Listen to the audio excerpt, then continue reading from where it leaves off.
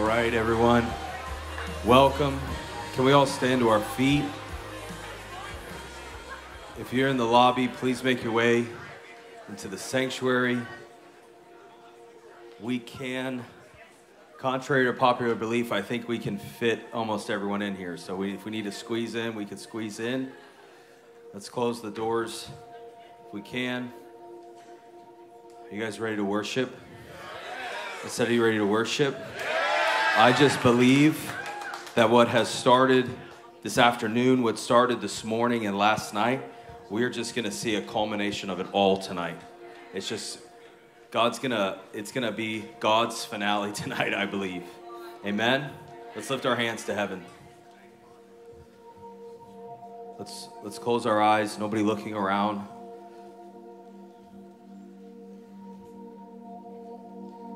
Jesus, you are everything. You are everything, God. There is nothing, there is nobody outside of you. You alone are King. You alone are Lord. You alone are righteous.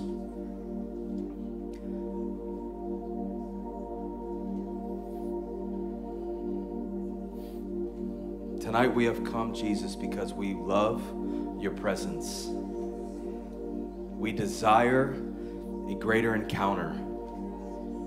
We desire a greater measure of your presence, an increase of your presence.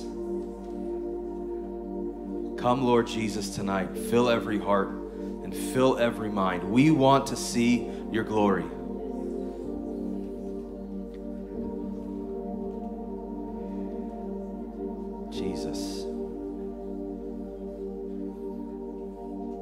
Encourage you guys tonight when you close your eyes, don't let your mind wander, but look at the face of Jesus and intentionally look at his face. Let everything that he is permeate you. Forget about everything else, forget about everyone else, and ask him for a greater measure. Ask him for a greater measure. Ask him for an increase of his glory. Ask him for an increase of his presence, of the tangibility of who he is. Come, Lord Jesus.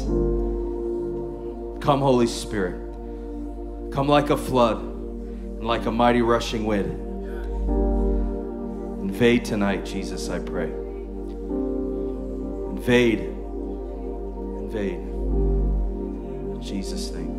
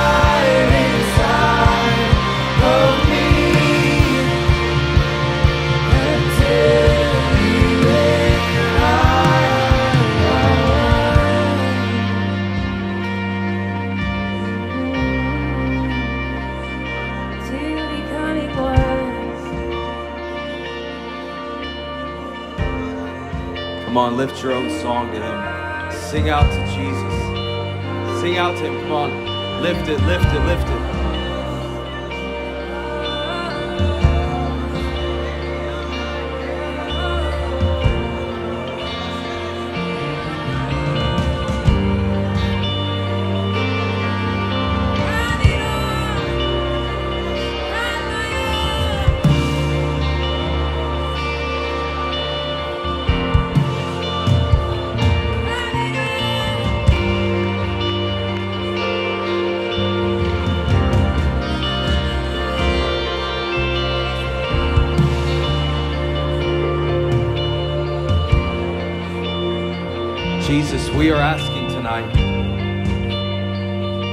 that you come be the flame that burns everything else away.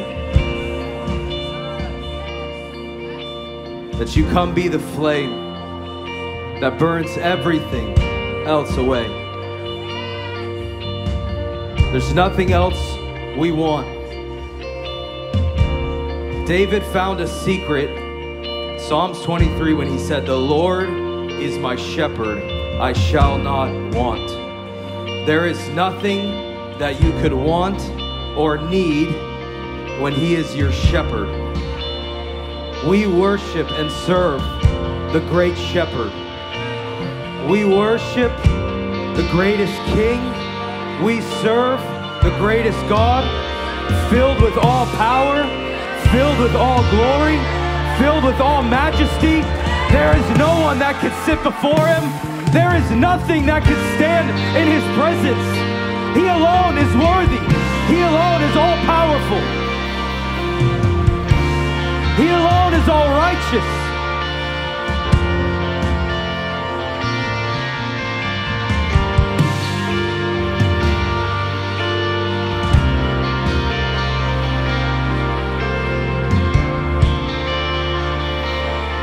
Father, give us a glimpse. Give us a glimpse of your power tonight, Lord.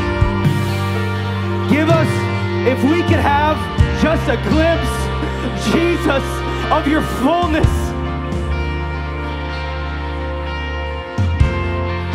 Just a glimpse of how big and how sovereign.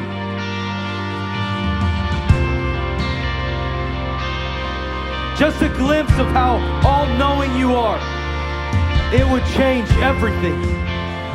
So, Jesus, we lay everything. I said we lay everything. You guys agree with me? Pray with me. We leave everything at your feet, we hold nothing back.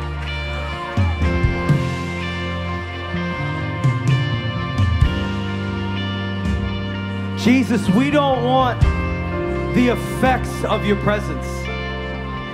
We don't want the residual of when you come. We just want you, Jesus.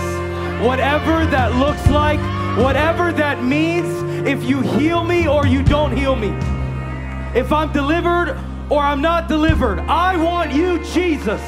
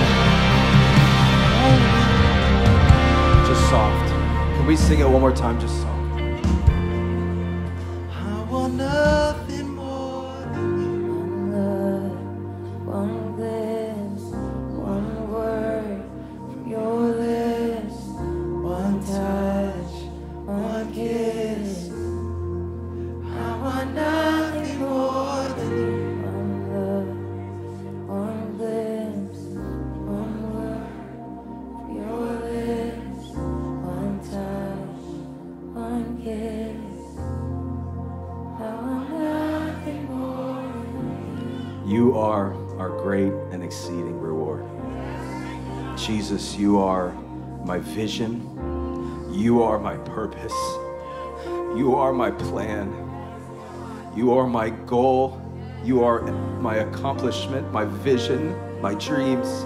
It's all wrapped up in your majesty. And so tonight we've come to lay everything. We hold nothing back. We lay everything at your feet. And we say, Burn it all. Burn it all, God. Make us a pure people before you that can truly say, Beholding the Lord in all of his glory as in a mirror. When Christ, who is our life, appears, we will appear with him in glory. This is what we desire. So, whatever it takes, God, burn it all away. But we want to see your glory in Jesus' name. And everybody said, Amen. Can we give a loud shout to Jesus? Come on. Hallelujah.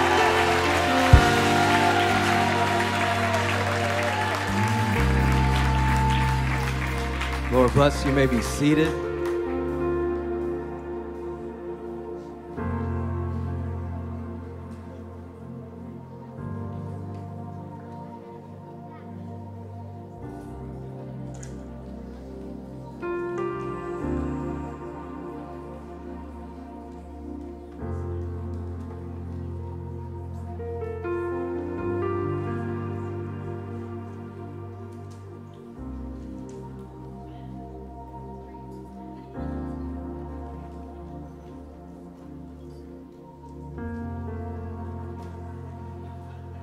Hallelujah. Let's quickly find our seats. I want to continue in this uh, atmosphere of worship. And we're going to give really quick, and I'm going to bring Pastor William up. But if I can get the ushers to get the buckets ready, we're going to pray over the offerings, we're going to pray over the gifts, and then we'll bring Pastor William up. But how many of you, how many of you love to give? That's a decent response. We'll work on it. How many of you know that giving is, is not just to pay bills? How many of you know giving is not just to pay payroll and to keep the lights on? Giving is our worship. It's, it's a part of our worship. And how many of you have been blessed by habitation so far? Wow. We had an, incredible prayer room this afternoon. But if, if habitations, um, if these habitation conferences have blessed you in any way, we want to expand them. Amen. We want to keep going, uh, expand them into different cities and states. And we need the help of partners and givers, amen, that can make this possible because none of this is possible if we don't partner together. So if you want to partner with Habitation Ministries, you can go on the Church Center app and click on the Habitation tab, and you can set up recurring giving. Um, and we are, I know Pastor William and the team is, is building plans and making plans to expand and do more habitations across the country. Amen. We want to sow into what God is doing. I said we want to sow into what God is doing. There is a mighty, mighty harvest coming. I don't think any of us realize the harvest that is coming.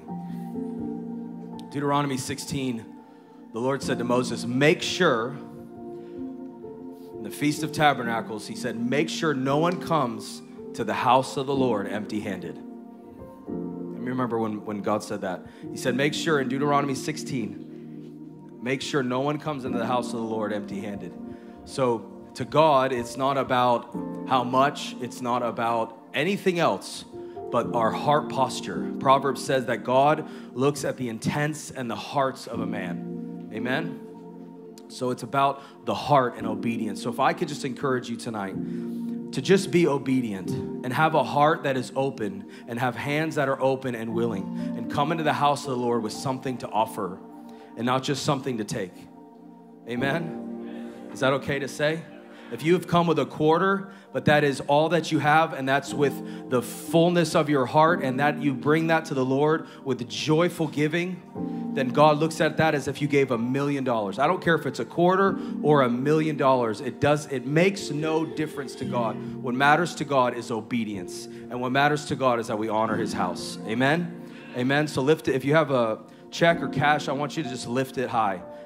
If you're giving on your phone, just lift your hands. Father, in Jesus' name, we bless every gift tonight, Father. We bless every giver, Lord. We pray that these gifts would be a sweet aroma to you. We pray that they would be a sweet sacrifice, God, that is well pleasing to you. In these gifts, Father, these offerings, it is our way of saying you are worthy, that we wouldn't have anything if it wasn't for you, Jesus that you are all we need and all we desire. Everything we have is from you. And so we give you back what's yours. We give you back what's yours. Let our life be wrapped up in this gift tonight and we lay it down on the altar before you. We ask that you bless these gifts, God. Bless these givers. Bless every person that has come in this building, every person that has watched online. I thank you, Lord, that lives are being transformed and have been transformed. In Jesus' name, bless each giver and every household. Bless their families and their businesses, Father, I pray. In Jesus' name, we lay everything at your feet and we ask that you be pleased with our hearts tonight, Father, in Jesus' name. And everybody said, Amen. So just go ahead and give. And as you as you're finished giving, if you could just stand to your feet, I just want to do something real quick.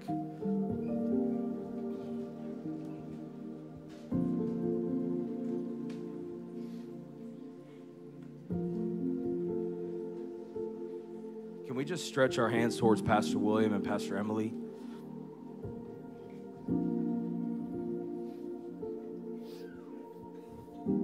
Jesus, I thank you for these gifts. I thank you for these vessels. Thank you for the obedience to the call, the diligence, Lord. I thank you, Lord, that they have served you unashamed, completely devoted, no matter what it costs. And I thank you, Father, that you will strengthen them in this season. I thank you, Lord, that as the ministry grows and as everything is growing around them, God, and as you are taking them into new places physically and spiritually, God, I thank you, Lord, that the anointing would continue to increase, God in ways that they could never even thought or imagine, Lord. I thank you, Lord, that your presence continue to increase, that the amount and the preciseness in which you speak to them would continue to increase. I thank you, Lord, for their faithfulness. I thank you, Father, for their pioneering spirit. I thank you, Lord, for my brother, Father, that even when I was lost, that when I was cold, God, that you used him to light a fire in my heart, Father. And I thank you, Lord, that as he speaks tonight, that fire come out of his mouth I thank you, Lord, that as he speaks tonight, you fill him, that it would not be his words, but yours, God. That lives would be changed, that every mind and heart would be renewed. Thank you for these leaders. We are so grateful for them, God. We ask that you use them in greater ways, God, in this season than all the past seasons combined. In Jesus' name. And everybody said, Amen. Can we welcome Pastor William?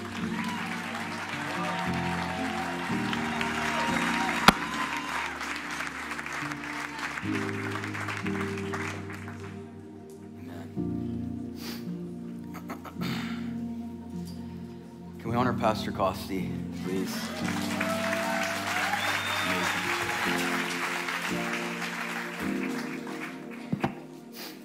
He had to do that before I preach. All right. Does anybody have a seat next to them? Raise your hand. Can we bring in overflow? Fill those first. And as we do that, um, if you are, let's do 27 and under, and you want to come sit at the front, come join us so that we can bring in overflow. You want to go older? Should we go older than 27? 31. No. 31. That's my age. So you can come sit on the front. Come on. I'm proud of you. Way to be bold. Way to be bold. Come on, Anna Doss. I want to get everybody in here. So come on. Sitting on the ground for three hours. It doesn't hurt that bad.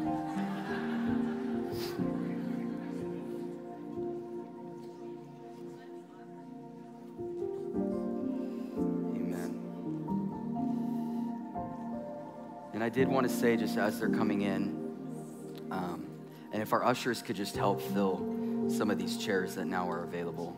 All right, that's good. I think we're good. Thanks, guys. Well, all right, yeah.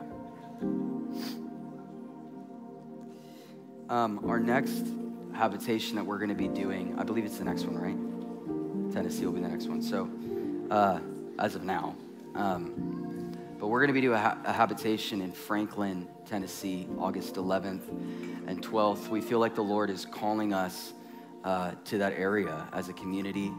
Uh, we don't know exactly what He's calling us to. We just know that He's calling us to something, and we know the best way to do that is to do this there. Um, we have some amazing people coming. Uh, I don't know if any of you know David Wagner. Um, and uh, I was trying to think who else. Well, of course, Corey will be there. He's at everything. Uh, I need to hear his haze everywhere I go. Um, and uh, Tiffany Hudson, actually, from Elevation Worship, will be with us. It's going to be super fun. So here's what we're going to do. So I think it's just today, tonight, and then tomorrow. Um, you can register at habitationministries.org. As a church family, Risen Nation, let's just convoy there. What do you say? Let's just bring this there and light sparks all over the country, okay?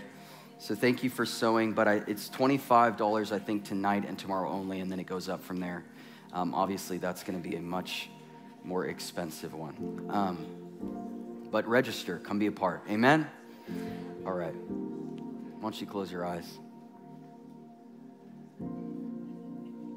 What are you doing, Micah? He's having a drink. Play that thing. Come on, close your eyes. We welcome you, Holy Spirit.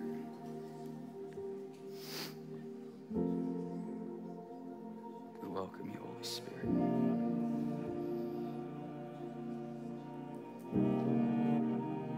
Thank you, Father, for your presence, Lord.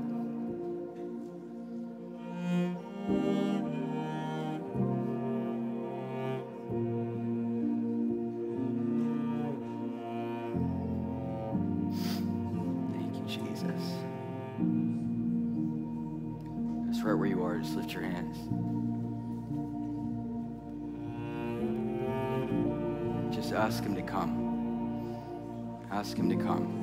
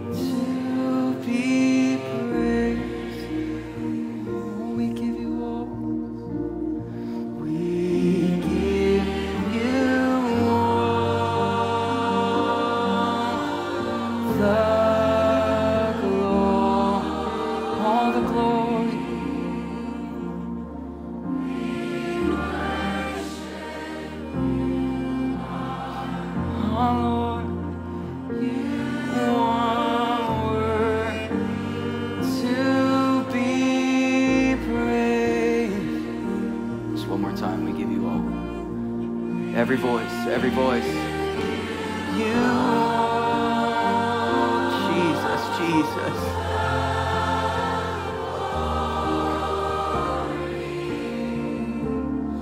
We worship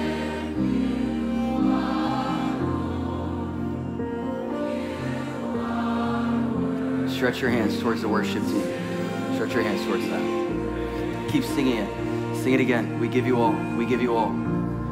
We give you all. Thank you, Father. That you're God with your presence. Fill them fresh, Lord. Thank you for raising up worshipers, Lord. Raise up worshipers, God. Come on, sing it, every voice. Raise up worshipers, Lord. You all,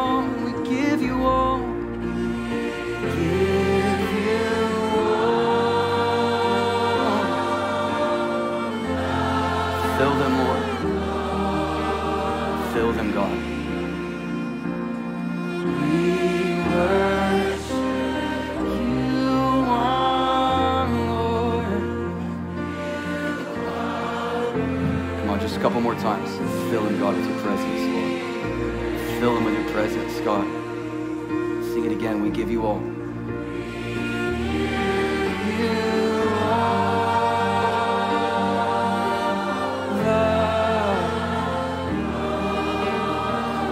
Fill them, God. Fill them fresh, Lord. Fill Ryan Jesus' mighty name. A new day, a new day, a new day. A new day, a new day. Jesus, raise up worshipers, Lord. Raise up worshipers, God. Raise them up, Jesus. Sons of Zadok, rise up. Sons of Zadok who minister to God in the chamber. Jesus.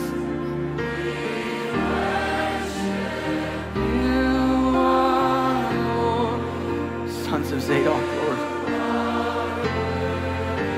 Raise your voice, God. Raise your voice, Lord, all over the earth. All over the earth, Lord. See it again.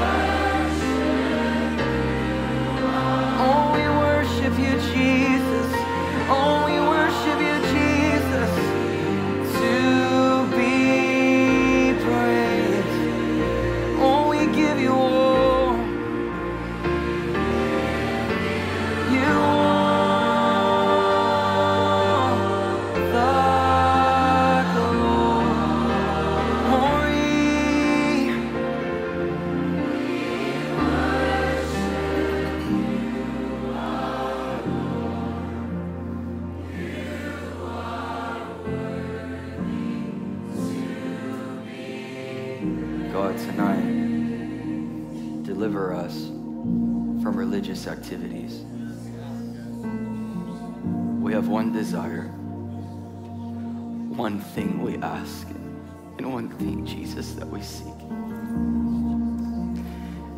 We may dwell in the house of the Lord all the days of our life and behold his beauty. This was the desire of the Lamb. John 17, he said, Father, I desire. There's nowhere else you see Jesus saying this. He says, I desire that they be with me where I am and they behold my glory. Above all else, God, we desire to be where you are and to look at you in the eye until we become like you. We recognize your presence. We honor your presence for being among us in this room. And we ask you to please stay. May your cloud remain, God. And not just corporately here. God, may it be the shadow that covers every individual within the sound of my voice. May everything change tonight. You're precious, Jesus. We're in love with you. In Jesus' name. Everybody said, Amen, amen. Thanks, guys. We won't be able to stop if you keep playing, so just stop. Thanks. I told them they have to sit up there because at any moment's notice, this whole thing could just break out, you know? So I feel like it's going to get messy before the end of the night. Um, so just don't be in a rush, all right? It's not being a rush. I'm never in a rush, obviously, clearly. Um, tonight, uh, the Lord put a, a word in my heart that um, many of you, especially that are part of this community here, uh, have definitely heard, I think, in many ways. I brought about three of them together. So should be about four hours. And um, no, I'm just kidding. Just kidding. Uh, but I just believe it's so important for this time. Usually at these, I get into Psalms 132, but you know, I, I said, Lord, what, what are you saying now? What is, what is it that our generation, God, desperately needs? And our generation has an identity crisis. And for far too long, we've allowed false humility to rob the bride of who God's called her to be. And there's no house for him if there's no family in it. There's no habitation unless you realize that you are God's everlasting habitation. God doesn't dwell in buildings. He was like, I'm sick of boxes. I'm sick of having to be moved in the mountains. I, I want to go inside of you and find rest. That's unbelievable to me. And we quote the scriptures Christ in us is the hope of glory, but we don't really believe it because we don't look like fully like Christ yet. And that word glory means confident expectation. Christ in me is the confident expectation that the glory of the Lord will reside upon my life. And the Lord, back in August, we, uh, we started seeing the Lord break out in amazing ways here. And back in August, when we were kind of in the height of, we started doing prayer rooms in June, the Lord began to move like crazy. Um, can I have a tissue so I'm not wiping my snot on my shirt all night? Um, just give me the whole box, thanks. Uh, but back in June, the Lord began to move and to break out. And we just started gathering here like every day, almost. And our kids would sleep here. It was a whole thing. Not overnight, just during the day, because we didn't let them sleep at night because we got them up early. And I remember this constant question was ringing in my mind of what is the message for this generation? And it kind of came out of I had heard Bob Jones a prophecy or no, a vision that he had had where he said he was on like a small pony and I'm probably to butcher it in some way, but I know the context, so just stick with me. He was on a small pony and he's riding down this street on it and there's there's crowds, massive crowds in, in stands on both sides of him. And there's dogs with rabies, like on the sidelines, I guess you could say, that were trying to get to where Bob Jones was and bite the horse. And God spoke to him in the vision and said, This pony is the message to your generation. And if you don't, if you don't preach the message to your generation, the dogs will come and kill it. It says a little leaven, it just leavens the whole lump. And I've watched for so long a generation get close and get close and get close to truly stepping into Christ in us is the hope of glory. And one way or another, religion sets boundaries that says you can't say that. And what I believe God's raising in this hour is He's raising up some courageous, bold people that are not gonna fall for the false humility trap and be like, you know, I, I shared it a, a couple weeks ago here that if you throw crabs together in boiling water, when one tries to get out, they pull each other down. If the crab is alone, it easily gets out of the water. But for far too long, we have allowed religion to constantly pull us down and set up these boundaries that someone generations prior told me I had to follow. Even though the scriptures say that as he is, so are we in heaven no, good job. As he is, so are we in this world.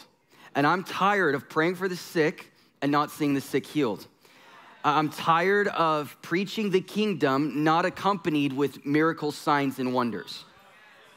And we got to get honest with ourselves in our generation, throw our schedules out, throw all our planning out. And I, and I love churches. We prayed for pastors, and I did it as a disclaimer in many ways. So I want you to hear my heart tonight. I am not bashing the bride. I love the bride. We're trying to find her. Okay? And sometimes when you're trying to find something, you're throwing things around your house, especially when it's valuable. You don't really care about the couch cushions when the wedding ring, well, the women's wedding ring, because ours is like a hundred bucks, but is underneath the couch. You don't care. You're ripping everything apart trying to find that which is valuable. A man found treasure in a field, and he sold all that he had to buy the whole field because he probably thought there was more treasure in the field. And so I just can't help but feel like we need this violent, aggressive pursuit to hit our hearts of going, Lord, you ascended. You didn't stay here. Like he, he didn't stay physically in the flesh on the earth for a reason. And if you weren't paying attention, it might have looked like he lost. I mean, he stands up inside of a synagogue and starts quoting the book of Isaiah that I've come to heal the brokenhearted, to mend them.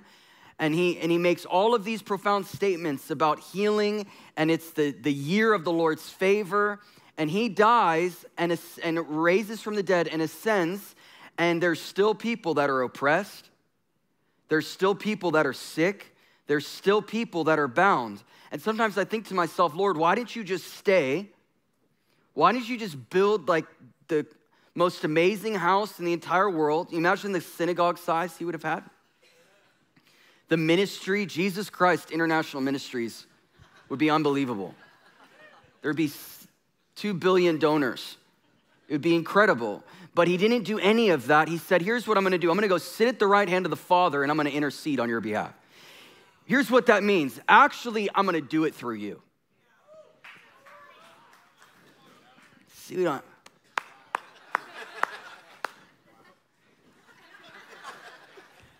consider this that he could have stayed. He could have had the biggest ministry on the earth. He could have, if he wanted to, to see everybody healed, but he said, I refuse to have a plan that doesn't include you.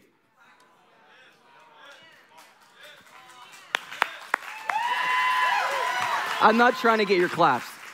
I, I want something to awaken in our hearts because for far too long, we just go from conference to conference.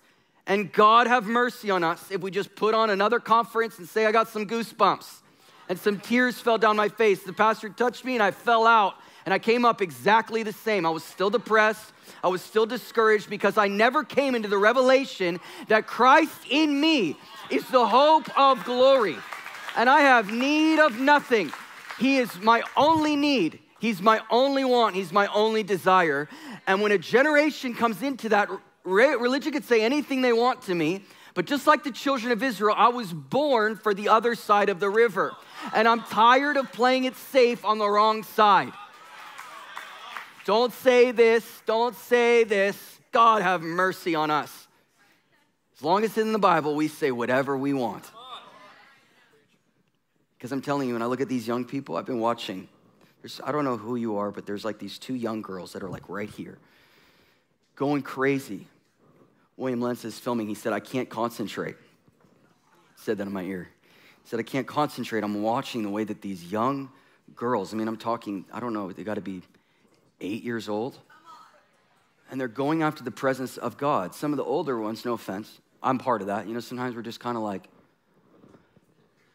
and the young kids are going crazy, losing their minds, and, and the innocence and the purity. And then they grow up and we teach them about death and bills. Just make it through life, stay out of hell. One day you'll go to heaven. And we're building a Tower of Babel still, reaching, trying to get to heaven.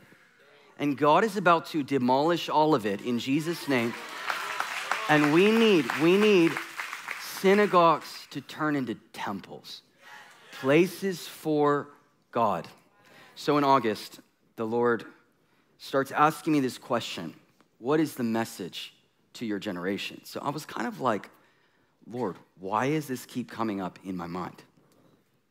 And so, of course, I said what you know you should say and always say. I said, Jesus, you, it's you. You are the message. There's no other message we don't, I mean, just Jesus, Jesus, Jesus, Jesus, because it's, it's true. It's very true and it's very safe. It's a very safe answer. And, uh, and I hear the Lord yell at me. God is my witness. It was midnight. I'll never forget it because Pastor Gerardo texted me right after and confirmed it. It was midnight. I couldn't sleep, and I was awake with this question running through my mind of what is the message to your generation. And so I said, You. And I hear the Lord yell at me, the lamb and the lamb's wife. And I said, Here's what the religious, the, the religiosity came out of me, you know? No, Jesus, it's not about us. This is all about you, right? That's, I mean, that's true. Yeah, it's all. And he responded with this Don't despise my cross if you weren't a part, listen to the Father's message and desire, I wouldn't have died. This is what I heard. I would have stayed here, I would have set up a physical kingdom, but I ascended to intercede for you, for you to carry what I started until I come for my kingdom. To separate, listen, Christ from his bride is to insult the cross and dishonor the Father's purpose. You have to understand that Jesus didn't die for Jesus. He was perfect, he was sinless. Jesus died because the Father said, There's more that are just like you.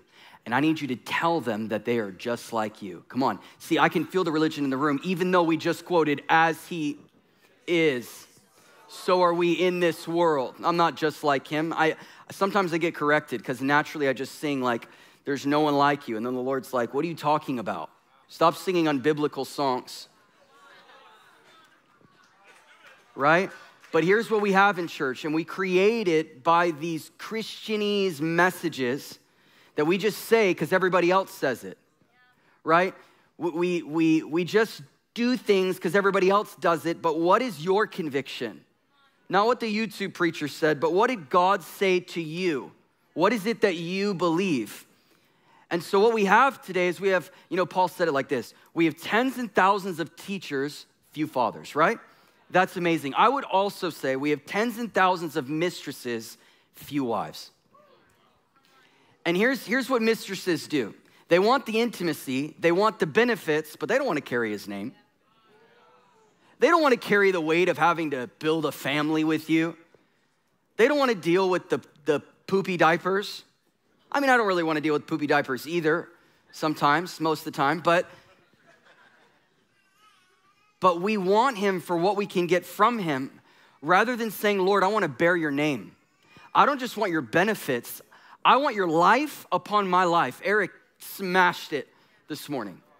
I want the life of Christ residing in me, and I don't just want the intimacy without having the responsibility to be as you are in the earth. Are you guys with me? He's looking for a bride. And the lamb and the lamb's wife, this whole thing is a story about a lamb and his wife. The father said, I want you to go, we see it in the book of Hosea, go marry a prostitute. How? What, what do you, and then he, and then he goes and he finds her and she continues to be a prostitute in the book of Hosea. He says, here's what we'll do. We'll allure her in the, into the wilderness with kindness. I mean, this is unbelievable to me. He took, a, he took a prostitute and he turned her into a bride. And today we come into buildings, we worship, well, I think it's too sacred to say we worship. We sing songs, horizontal, but the Lord is, there's a transition that's taking place. And there's a message that God is, I believe, from what He spoke to me, is wanting to release that you can't separate yourself from the cross. And by saying just these things that everybody else says, we write ourselves out of the story because it feels holy and it feels right. But Jesus didn't die for Jesus, Jesus died for you. And so if he died for me, the gospel includes my life. I, I, I don't want to be a leader that, Matthew 22, here's the context. Matthew 22, there's a wedding feast that's about to take place. And, and the wedding feast is ready. Everyone say it's ready. The wedding's ready and the, the, the guests, some don't respond, and the ones that do respond that they just pulled off the streets, they come in, but they don't have the right garments on. They come in and they're at the right place at the right time, but they're not wearing the attire that is fit for a wedding. And the Lord casts them out of the wedding. Our duty as leaders is not just to have conferences, our duty is to put the right garment on you. Our duty is, is that you don't just show up on that day saying, Look at all these things we've done in your name. And he can look at you and say, But I don't know who you are. I can have somebody come up to me and say, Look at all these things I've done for you, and act like they've known me for a year, but until they're actually in my household, until they actually bear my name. And so, what we have is, is we have a lot of sincerity, we've got a lot of zeal, we got a lot of passion, we got a lot of hunger, and I love the hunger. I love that even on our Sunday morning church, We've never told anybody to line up, they just line up. And we're like, have some coffee and hang out in the lobby, and they just refuse. One of our pastors, one time, this is like my favorite story, went to one of them and was like, um, you know, you can, you guys can hang out and fellowship and have coffee. And she goes, easy for you to say, you got a seat. And, and uh, she said, I'm hungry.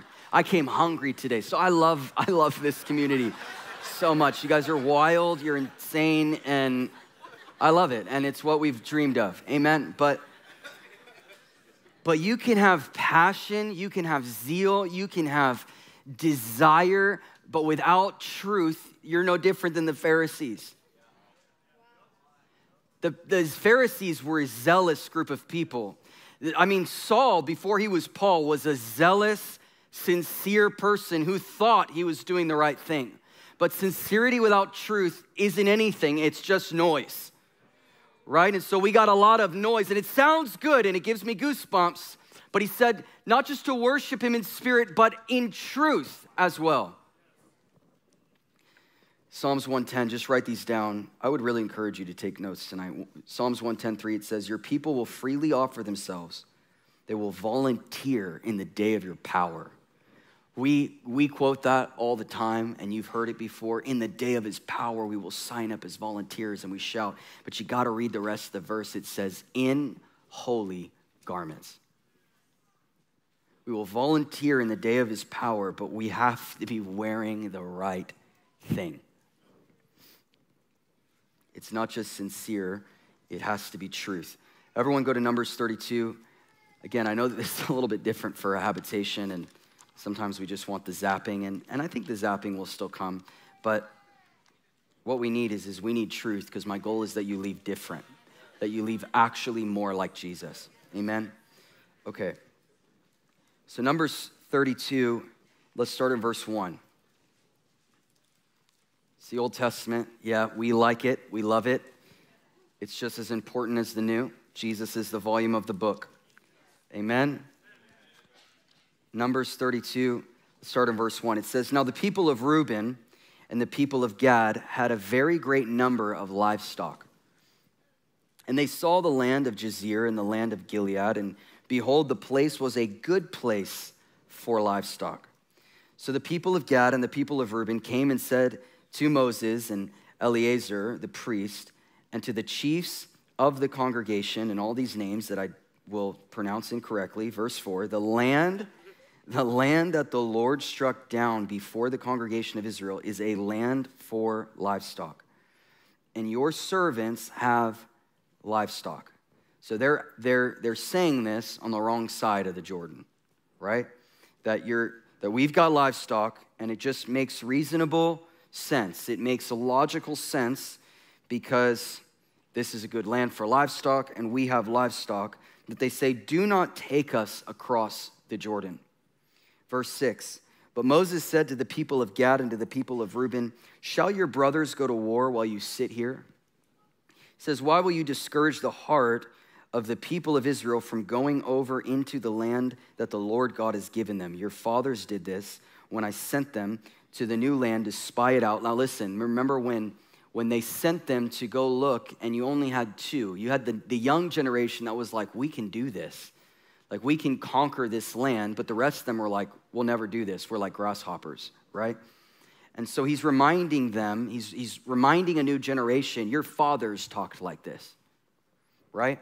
So here's the concept, here's the context is, is that they are this, this is the next generation. This is, they are ready. They are at the Jordan. They've come to this place.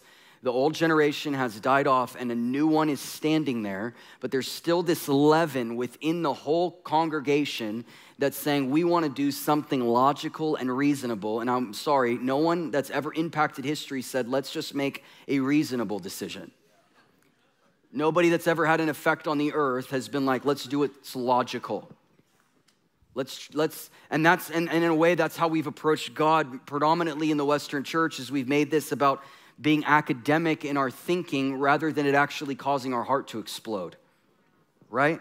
And so then you get to the book of Deuteronomy, and Deuteronomy is basically Moses standing in front of the next generation. He's about to die. Joshua is taking over, and the whole book of Deuteronomy, just, just read it on your own time. But the whole book of Deuteronomy is amazing. It is basically Moses standing before this new generation, giving them instruction and giving them history. And, he, and he's telling this new generation now, you got to understand something about this new generation.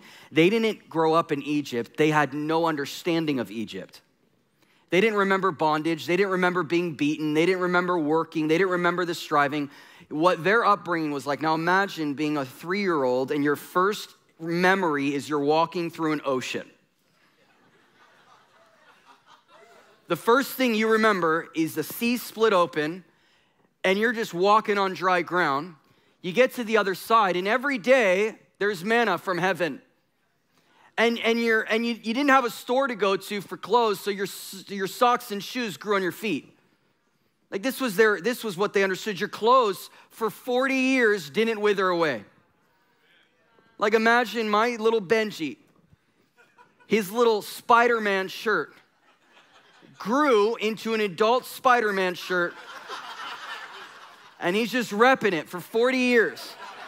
That's my oldest's dream. He's, he shows up to church in Spider Man slides. And one sock's on, one is off, and, and we're just doing our best to stay alive. So keep the kids alive, throw them in the car, we'll be fine.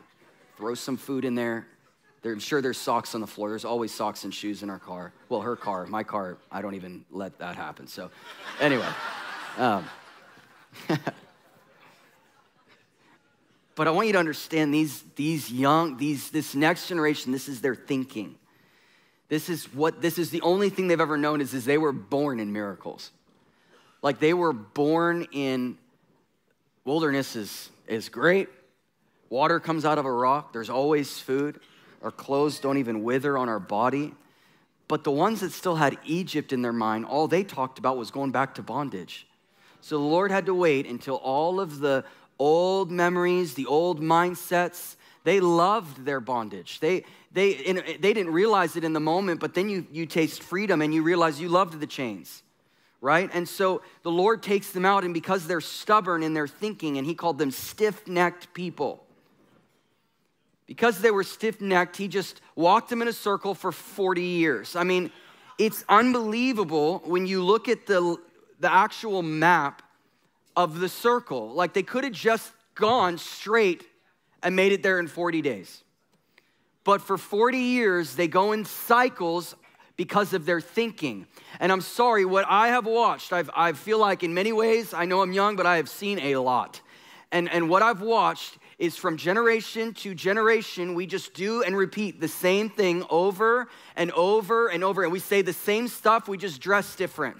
And, and even with our dress, we start looking like the 70s again. And it's just like this constant cycle over and over. Before you know it, we're going to be in the 80s again. God have mercy. And, and I wasn't alive in the 80s, but I just don't like the way it looks. And so, but, but I mean, let's be honest. You watch history repeat itself over and over, and everybody just follows along. Yeah, I'm going to look like the 70s guy now. And a month ago, the 90s was everything was big. Now everything's tight, and you can't figure out who you are. And everybody's got an identity crisis, and everybody's just following the person in front of them. And kids are suicidal and depressed, and they're 12. I was amazed the first time I preached at our youth group. I did a call for suicidal thoughts, and 70% of the room responded. We need a moment like Jacob with Rachel when she's birthing her last baby. And she wants to name the child Benoni, which means son of sorrow, because she's dying and she's trying to pass it to the next generation. Like a crab pulling them down in their sorrow. And it says, Jacob stood up like a, no, he stood up as a father and said, His name will not be Benoni, but his name will be Benjamin, son of favor and power. And he changes the trajectory of his son's life with one with one word out of his mouth. And we need fathers and mothers not just repeating themselves over and over again, but telling the next generation don't listen to the boundaries religion told you you had to follow. You were born for the other side of the river. So, Deuteronomy, he's standing in front of this new generation. And I love it in Deuteronomy 4, this, this always gets me. He says, This is Moses talking to them. He says to them, Who has known a God that is this close to you? And he starts reminding them of the miracles they grew up with. He says, Don't forget what your eyes have seen in Deuteronomy 4. This is a father talking. And guard your heart so that your eyes don't look away. Look how I have led you, delivered you, and protected you. In Deuteronomy 6, 4 through 6, it's the famous line in, in Judaism. This is like the centerpiece of their religion. It says this Hear, O Israel, the Lord our God, the Lord is one. You shall love the Lord your God with all of your heart, with all of your soul, and with all of your might. This is what Mike preached uh, last night. And these words that I command you today shall be on your heart, and you shall teach them diligently to your children and shall talk with and shall talk of them when you sit in your house and when you walk by the way and when you lie down and when you rise listen that word listen is not just simply hear but respond to what you're hearing When you look it up in the Hebrew, love is not just simply emotion, but a decision to be devoted. And that word one is to keep them from all the options that they're about to have in the new land. Moses knows that this new land they're about to enter is fruitful, and usually what's fruitful has idols attached to it. When the, when the church was at, well, we weren't a church, we were just at Cafe Mila. Anyone in this building was at, who was at Cafe Mila? Come on, come on, Abby. They're, they're all here, and Joel. Um, it wasn't hard to stay pure because there was six of us. Everybody knew what everybody was doing. It's like my household, extended household. Like there's no there's no behind the back talking because my dad is like everyone comes to the table and everybody knows everybody's business. And he's very he makes sure there's i mean there, and there's no feelings in our you don't get to have feelings. You just you just have to be okay with with everything that's going on in your life. Your every brother and sister knows everything. And so there's no gossip because there's nothing to hide my dad makes sure of it. We come to the table. He said and you believe you believe your brother did this?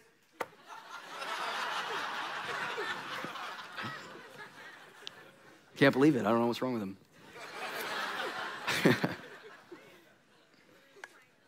But what's fruitful, it's as it grows, the temptation comes. It's as you go from Cafe Mila to now you have a conference and there's people here and there's influence and there's all this stuff. There's options now to turn away from the simplicity of the one thing that was just at Cafe Mila. The $50 speakers. I mean, I think our whole, our whole audio system was 50 bucks. And then the other half was from Pastor Rick at Calvary Christian Center. I love Pastor Rick. What an amazing man. But Moses knew that they're about to be blessed. And he's telling this new generation be mindful of the many options. Make sure you know that your Lord is one. Joshua 5, after they crossed over, it says, so now you get to the book of Joshua. Moses is dead. He's t- sharing this the instruction to the new generation. Deuteronomy 32 is probably one of my, just write it down, it's probably one of my favorite chapters in the whole Bible. He starts singing a song. And Moses is singing this song, and he says, How I, I wanted you to ride in the heights of the heavens and drink honey from the rock. He's singing that over the generation that is, that is dying off and leaving, and he's telling the new generation, in other words, I'm inspiring you Stake, set your mind on things above and drink from the rock only. So you get to Joshua 5, they finally have crossed over chapters 1 through 5 in Joshua. And after they cross, it says, on, on the day after Passover. So we know that Passover represents the cross, right? We know that, that Passover represents the crucifixion of Christ on that amazing, glorious day. And immediately it says, after the day of Passover, immediately the manna stopped falling and the land began to produce for them. Here's the picture the finished work of the cross, now it's time to believe it. Immediately, the day after Passover, immediately the next day, they didn't have manna from heaven anymore. They had to believe that where they walked, the ground would produce for them immediately after the day of Passover, they had to walk believing the work is finished and it's time to step into the inheritance that's been promised to us for 40 years. And here's what I watched today. It's like we say we believe in the finished work, but we're still begging for the manna from heaven. And God is like, My Father and I have made our home in your heart. I didn't I tell you in the book, I mean, even going back to the book of Joshua, that everywhere your foot steps, I will give you as an inheritance. But false humility has robbed the church into thinking that, oh, woe is me. But true humility is agreement with God's perspective. So, what is God's perspective? That I am the righteousness of God in Christ Jesus. This is New Testament scripture now. So, what's the point? after everything this generation's seen, after all of the, the miracles, the signs, the wonders, there's still this little leaven that is being ruled by their own agendas, saying reasonable things like we have livestock and this land is good for life. Let us stay on the wrong side. Let us, Let us stay here because this seems fruitful. And I love it because the Jordan River, it says that it was overflowing. Its banks are overflowing. They're carrying hundreds, if not thousands, of pounds of an ark, and the Lord's like, cross it. Banks overflowing. And the new generation's like, we got it. Remember when we were three and we saw the whole ocean split open? Think the Jordan's gonna be fine. And there's nowhere in there, he tells them it's gonna open for them. He says, step into it. And they step into it and it opens up, and then he tells them, Now take 12 stones and put it in there so the next generation can see the courage of one that said, I'm gonna change the trajectory of a whole, whole generation, right? Now go to Romans 5. Romans 5.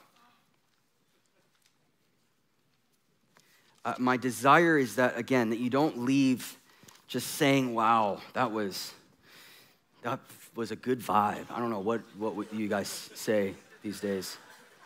That was uber anointed, man. I, I, I want people to leave thinking differently. Because as a man thinks, so will he be. So if you think you're a disgusting, horrible, dirty sinner that religion told you you are, guess what? You're gonna sin. But the more you believe that you're a son of the living God, that I have been transformed out of the the conveyed out of the system, the kingdom of darkness, and have been brought into the, the newness of life in the kingdom of light of the dear Son of Jesus, the more that I'm gonna walk right. Right? Okay, so so Romans 5. We I wanna I wanna change this. I want some of you to take a ring and a robe tonight.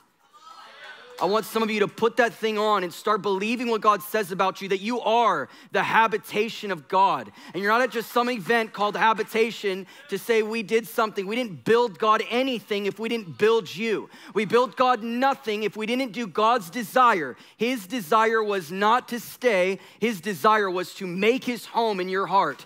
And, and if we weren't paying attention, like I said, we would have think he lost until you get, begin to realize that the gospel is I'm going to do it through you. And for too long, somewhere along the way, they told me I can't say that. The definition of insanity is do the same thing over and over again and expect a different result. So you get to Romans 5. Listen to this, verse 1 says, Therefore, since we have been justified by faith, we have peace with God through our Lord Jesus Christ. Through him, we have obtained also, we have obtained access by faith into this grace in which we stand. We rejoice in the hope of the glory of God. Not only that, we rejoice in our sufferings, knowing that the suffering produces endurance, and endurance, character, and character produces hope. And the hope that does not bring us to shame because God's love has been poured into, everyone say into, our hearts through the Holy Spirit who has given it, been given to us. For while we were still weak and at the right time, Christ died for the ungodly. Jump to verse 8. But God shows his love for us that while we were still sinners, while you were still a sinner, Christ died for you. Since therefore we have now, now, everyone say now, been justified by his blood, much more shall we be saved by him from the wrath of God. For if we were enemies, we were reconciled to God by the death of his son, much more. Now we are reconciled. Shall we be saved by his life?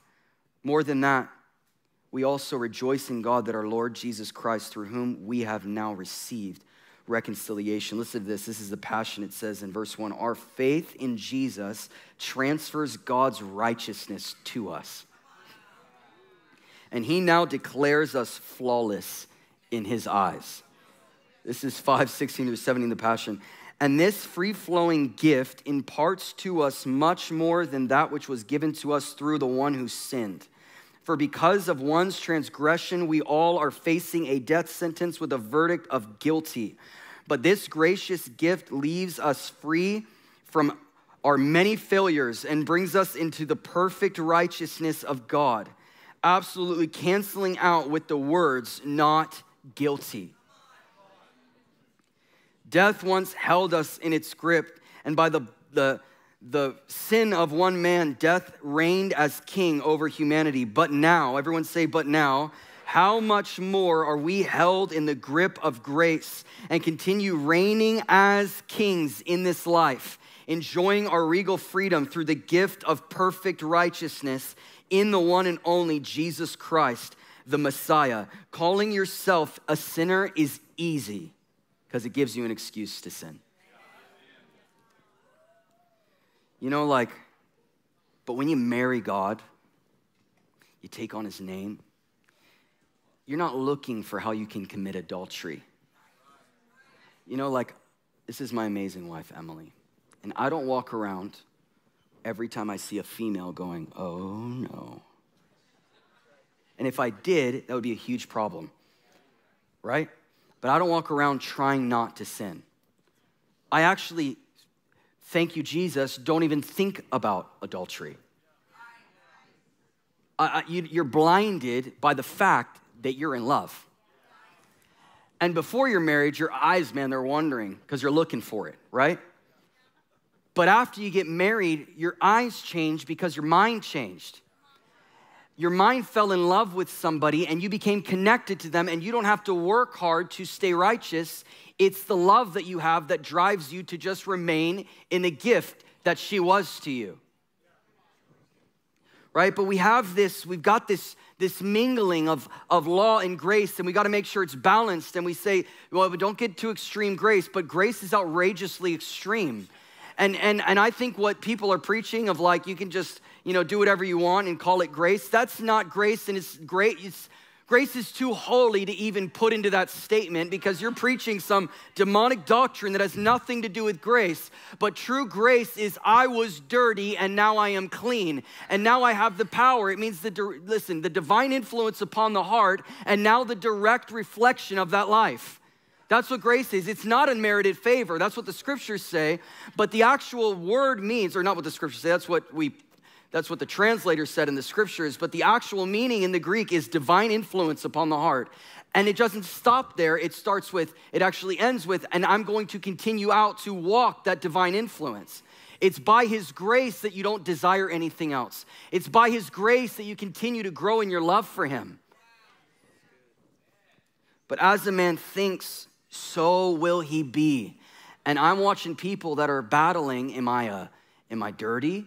or am I clean? And we're unstable in all of our ways, and we're fighting depression and fighting suicidal thoughts and fighting anxiety and fighting sickness. And I think the Lord is in heaven going, When is a generation gonna cross over?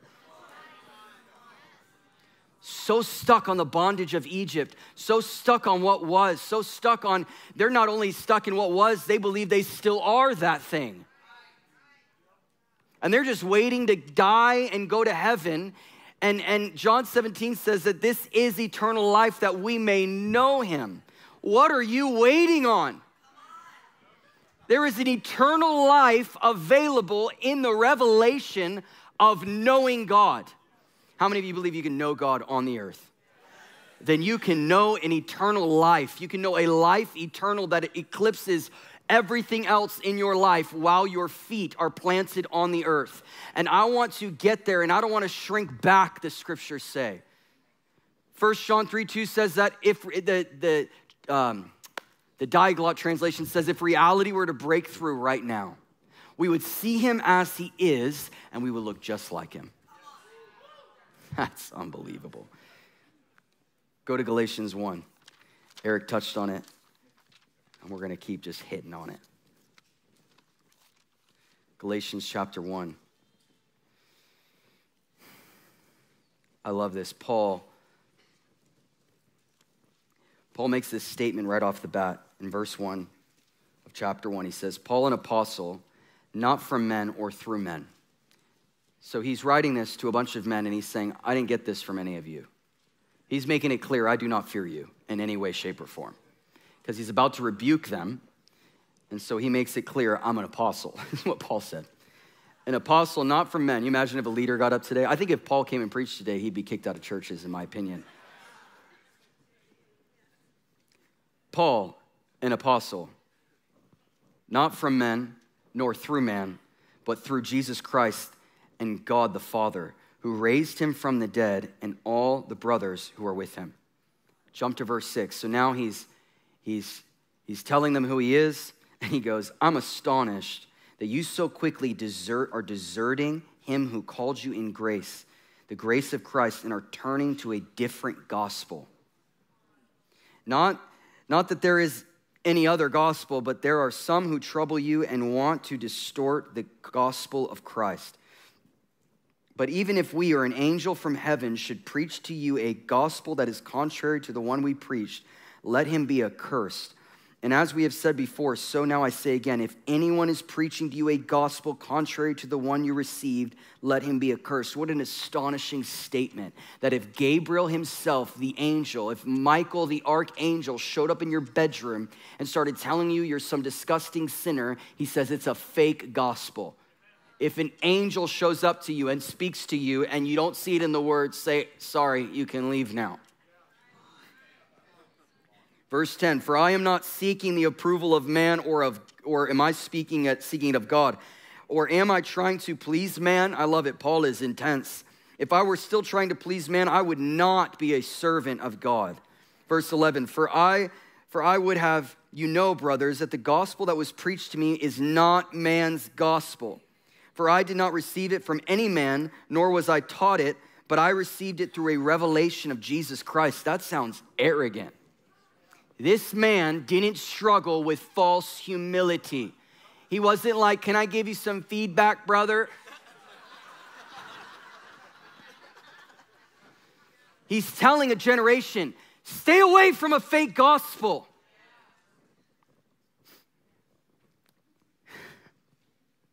This is, go to, go to chapter three really quick. Let's just read some. He starts getting even more intense. They put an exclamation point here. Verse one, oh, foolish Galatians, who has bewitched you? It was before your eyes that Jesus Christ was publicly portrayed as crucified. Let me ask you only this Did you receive the Spirit by works of the law or by the hearing with faith? Are you so foolish, having begun in the Spirit, and now you think that you can be perfected by the flesh? This is, this is the passion of what I just read in verse 1. I am shocked over how quickly you have strayed away from the one who called you in the grace of Christ. I am astounded that you now embrace a distorted gospel. That is a fake gospel that is simply not true. There is only one gospel, the good news of Jesus Christ, yet you have allowed those who mingle law with grace to confuse you.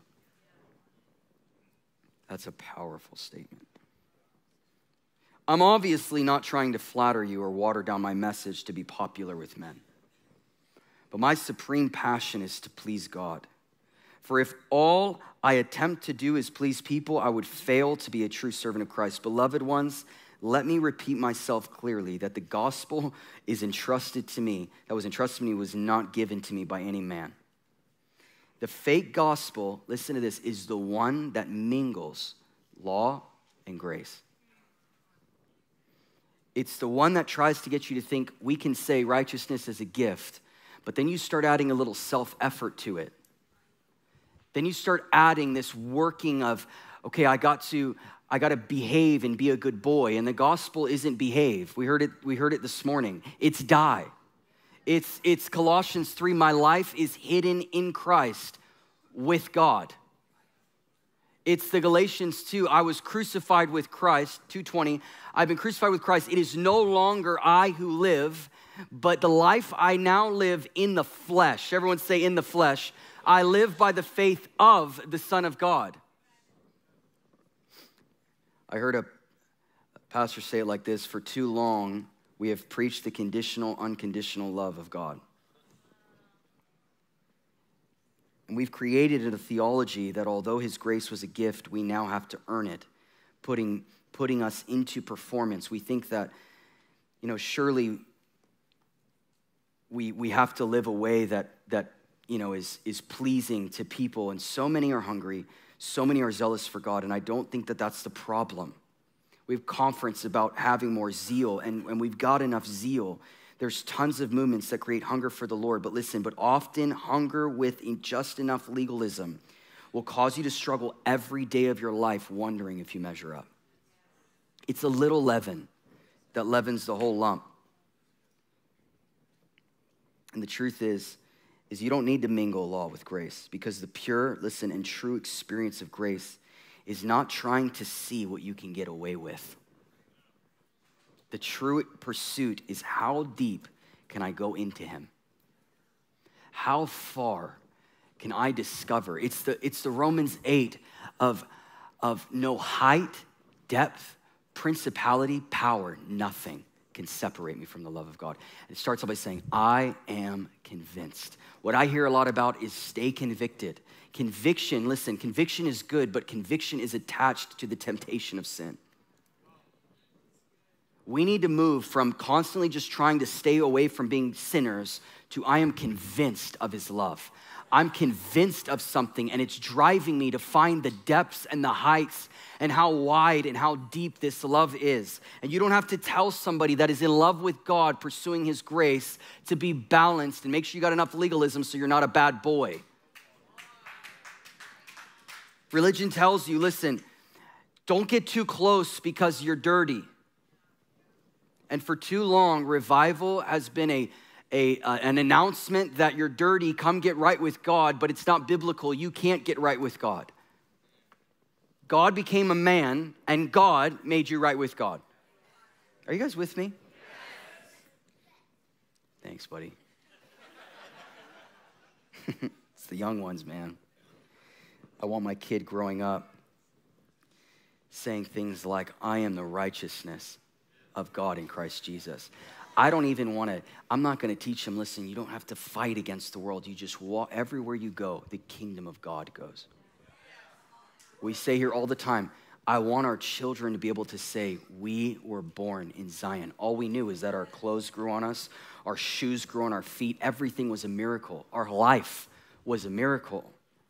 And for too long, religion has lied to you to tell you that, listen, if you just mingle a little bit of law in there, if you just work a little bit harder, if you just maybe fast for 38 more days,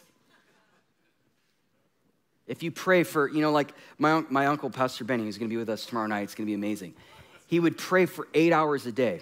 And I, I went through this season where I'm like, I know how to get more anointed. I'll pray for nine. and then I'll fast every other day. And I did it. And honestly, you know what I found? I found a lot of condemnation in that season. And, and I could say I was, I was with the Lord. I was like doing all the stuff. I'm pacing. My mind's wandering. I'm like, I'm just going to pray in the Spirit for 16 hours. And the, and the Lord is like, hey, remember your kids? Hey, remember your marriage? But Lord, no, no, no, I can't be loved to them because I have to love you and no one's watching. Benny spent eight hours, I need to spend nine so I can carry it on, you know? And, and all I found was condemnation until the Lord came into my life. And I realized that in the midst of doing ministry, in the midst, I mean, there would be seasons where if I passed somebody in a wheelchair and didn't pray for them, I couldn't sleep for five days. I was so condemned. I walked around condemned and I thought it was obedience. But good works flow from Christ who is in me. And I had one mission tonight, and it's not to make you scream and shout and get us zealous. It's that you leave going, I am the righteousness of God in Christ Jesus. I am his habitation. I am the place that he desires. Psalms 87 says that Zion will be called his favorite place on earth.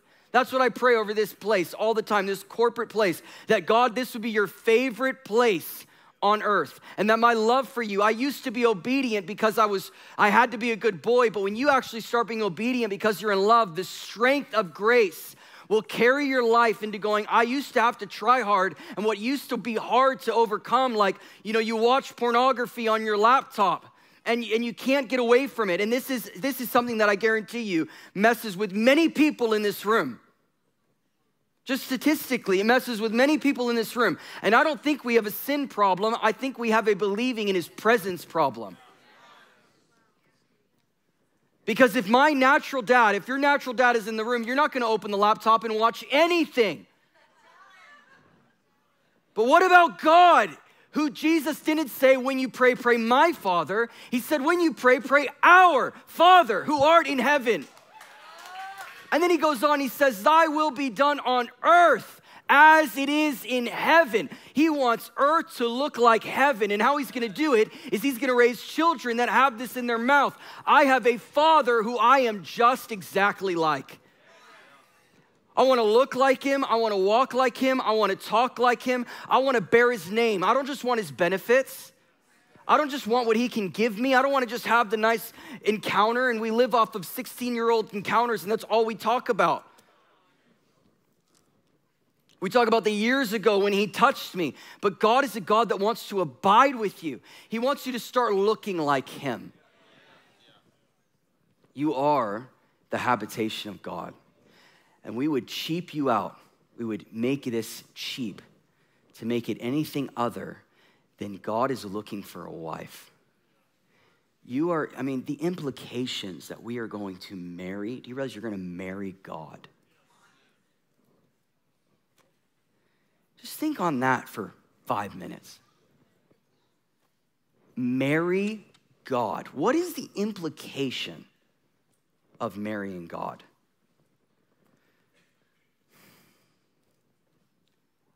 My wife is not dirty. She's my bride. If anything, she far exceeded the list that I made. Me, not so much. He's coming for a spotless, pure bride. And what religion has made that be is bite your tongue a little bit harder and don't be dirty. Rather than going, I am pure. I am holy as God is holy. This is in the Bible. But religion, somewhere along the way, said, stay on this side of the river, it's safer. And I'm sick of it. I'm not gonna stay on this side of the river anymore. I wanna actually believe what the scriptures tell me I can be, because I'm telling you, these little eight year olds, when they start coming into this, they're actually gonna believe the things like lay your hands on the sick and the sick will recover they're going to actually start believing that, that they, that, listen, raising the dead in scripture, do you know that it's an elementary principle? Anyone seen the dead raised? I haven't. I've tried, didn't work. No one, no one's, we don't see, and today that's like the pinnacle of Christianity. Man, if you raise the dead, mega ministry overnight, done. We put it on Instagram, we want everybody to see. It's not really about the Lord, it's about what you did what you think you did. Paul says, Do we have to go back? Paul's such a beast. Do we, do we have to go back to the elementary principles of raising the dead? Paul, what in God's name are you talking about? Raising the dead, elementary? What's, what's high school? In the kingdom of God? What's college like in the kingdom of God? But somewhere along the way, religion told me it doesn't, it's, it's a 50 50 chance. Men building re- doctrines around healing isn't for today because they prayed for someone and they built something of their weakness rather than, no, no, no, the gospel is you have to die. He didn't refurbish you, he killed you. He didn't, he didn't like, we're, we're battling. We, we always say, and, I'm, and I get it, I get it, we're, you know, we're going back to the beginning, but I'm not going back to Adam. I'm not even going back to the garden with Adam. I'm going into a city called God is here. Revelation 21 is that there is a city coming down from heaven adorned as a bride and we will hear the angels singing that God and man are tabernacled together. That's what we built this off of is that I am longing to see that day. In my day is a voice crying out that God and man are tabernacled together on the earth. I want my children to believe it. And we've cheaped you out for too long, telling you that it's not possible, telling you you got to be careful you can't say you're not a sinner. I'm going to say that I'm not a sinner every single day of my life. And you can try to kick me out all you want. But listen, I have a microphone. So if you leave or you stay, what we say here is it says our house for him, not a house for people. So I know we love people, of course. But our first priority is, is that God finds something attractive on the earth. And that's not a beautiful building. It's a bunch of people that go, hey, I believe you. I actually believe the cross.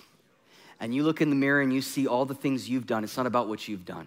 Don't spit on the blood of Jesus and say, I said yes to Jesus, but I'm still Adam. You have to decide who do you believe in more, Adam or Jesus?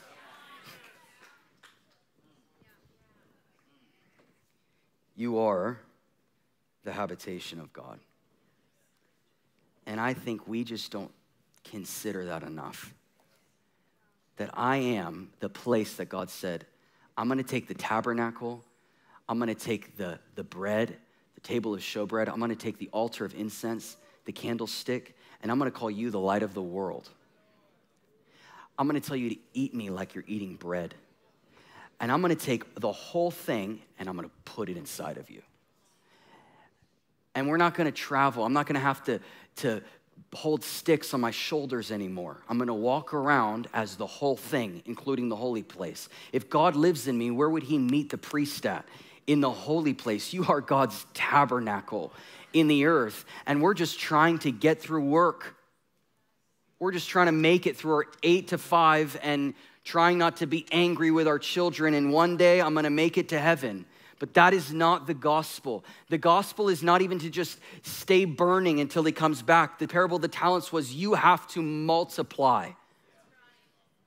We need the expansion of God's glory in the earth. Can you guys help me out behind me? The Lord was very clear, extremely clear with me,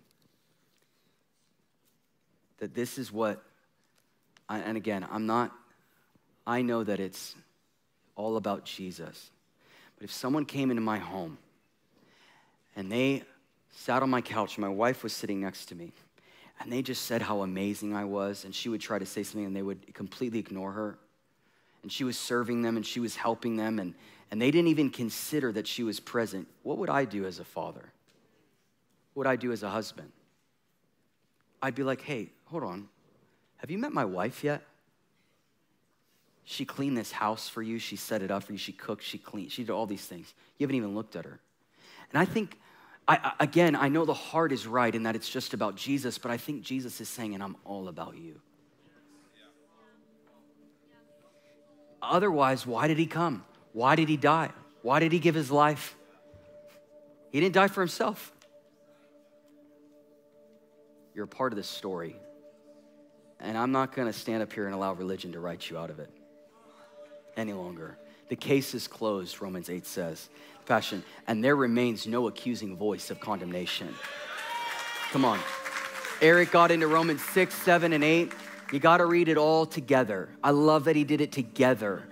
People are stuck. Listen, Romans 6 says it like six times. You are set free from sin. You know what that means in the Greek? Free. You have been set free from sin. Some of you don't believe it because you love your sin. You just stay in it. But when you're set free from it, you can't find it anymore. You're free from it.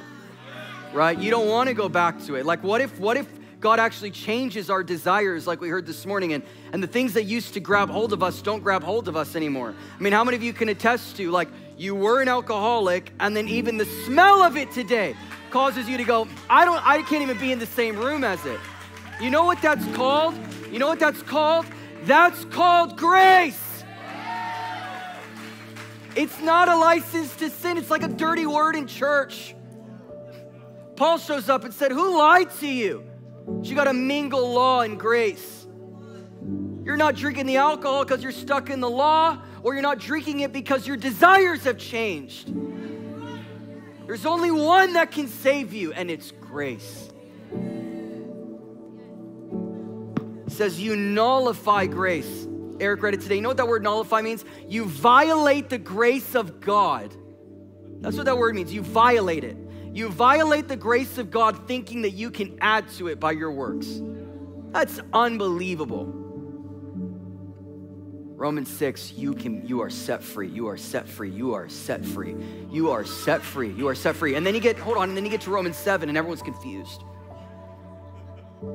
Paul didn't write chapters. Paul wrote a letter. And he says, it says it right there, but to them who are under the law, what you want to do, you can't do. You're always confused. You're walking in a circle. You hate yourself. You think you're disgusting. You call it being poor in spirit. I want you to be very clear about something. When Corey's going after being poor in spirit, it's not thinking some horrible thing of yourself, it's realizing that you had to die and your life is hidden in Christ with God. Poor in spirit is remaining outside of the violation of grace. That God, it's your grace that binds my body together. God, it's your grace that causes me to walk in holiness. But here's the problem I used to aim at holiness and I never found it. But when I started aiming at union with God, all of a sudden I started walking in holiness and I wasn't trying anymore. So, Romans 7 what you will to do, you can't do. You want to do this, but you just, you're conf- you are a confused person. Bunch of disgusting sinners, basically, is what it says, but to them who are under the law. And then he gets to chapter 8, the next part of the letter. But now. Everyone say, but now. You know what now means in the Greek? It means now. Isn't that crazy? But we think one day when we die and go to heaven, but that's not in the Bible. But now there is no condemnation to those who are in Christ Jesus. We all know John 3:16 for God so loved the world he came and he gave his only God's son that through him we might have eternal life. You know what 17 says and he did not come to condemn the world. Jesus is the type of, of God that catches a woman in adultery. In the very act, it said, they throw her, the religious ones, the righteous ones, the good boys, throw her at his feet, starts writing in the sand. This probably isn't biblical. I just like to think about this that maybe he started writing like their sins in the sand.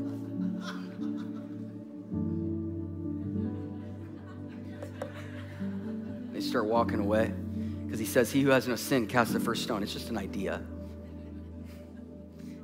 And he's left alone with her. He says, I don't condemn you. So you see, people get nervous when you talk like this because they're like, oh my God, they're going to sin and then, and then they're going to think it's okay. No, no, no. It's this that draws you, it woos you to loving Him. It's His goodness that leads us to repentance. Not telling people they're going to burn in hell for 68 years. But that's what revival's been is let's here, here's what we'll do. We'll call success just seeing if people run to an altar because they're petrified. Where did that come from? Hell. That's right. Thank you. We had our protesters here, praise God. And uh, Benny Hinn, man, criminal family, I think it's what it says. Poor Benny, he's not even here yet, you know? Um, those same guys go to Todd's and do the same thing. I, and so they had this sign that said, Todd White, hell awaits you and uh, very sweet and kind people. And Todd and I one time talked about what if we put sprinklers just right now? Um, we really did have that conversation. Then we were like, no, we can't. We got to be loving. Um, but I remember one time I was preparing for a Sunday, and at this time in my life, I hadn't I hadn't gotten gripped with this message of it's by His grace, and I was incredible at scaring the actual hell out of people. Not cussing, that, I mean, literally. I, I was, I was very good at scaring people into saying yes for Jesus because it made me feel good when I had another person to say that they came to an altar call and prayed a prayer, even though you don't see even that in the Bible, right? So, so we build numbers, and, and you know you're not going to stand before God and say, I got a million saved. It says that we would give an account for our life. That word account means divine expression. He's going to look for himself. Right? So I remember I'm studying, and, and this sign kept coming up in my mind Todd White, hell awaits you. And I'm like, why? Uh, why? And so I'm rebuking the devil, and, you know, we rebuke the devil even though he's been defeated for 2,000 years. I always found that interesting. But anyway, um, so I'm like, I can't figure out why I'm thinking, keep seeing this. And the Lord speaks to me, and He says, you know, you're so bothered with them, even though you go up on Sunday and wave the same sign, hell awaits you, run to an altar and prayer, prayer. The sign should say, He loves us. Oh, how he loves us. And here's what I'm after I'm after a bunch of prodigal sons. It wasn't a prodigal sinner, it was a son. A bunch of prodigal sons that come and they run to him. Now, the prodigal son, he had his religious thing ready. He had his note cards. He had prepared a whole thing. I know I'm not, I'm not worthy to be your son. This is what he said I'm not worthy to be your son, so make me a servant. Just make me like the servants. And the father doesn't even respond to him. He starts kissing him everywhere. This is what altar calls should be like. Not me. Not me. The Lord, the Lord. Someone's gonna clip that. It's gonna be a big problem. I'm married. I love my wife with all of my heart.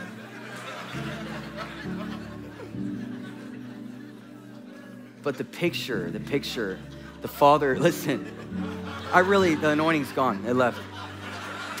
Left. The picture is this. Ready? The father sitting on his rocking chair, waiting. He's sitting there waiting for his boy. And he just sees him in the distance and he doesn't even wait. He starts running after him. He doesn't, he, he doesn't even ask him, What'd you do? What'd you spend the money on? What did you waste? Come on, let's go get a spanking. He starts screaming as he's running Get the ring, get the robe, make a feast. My son. Everyone say, My son. My son. My son. My son is home. He looks disgusting. He was sleeping with pigs, and he doesn't even care. He starts kissing him all over the place. The son says, Okay, okay, this is what we do. Okay, I know you love me. I know it's by your grace. I know it's your blood, but, but let me add to your blood by telling you what's wrong with me.